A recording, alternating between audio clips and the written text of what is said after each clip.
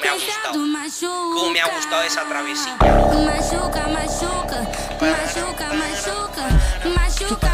No me lo puedo creer. Bro.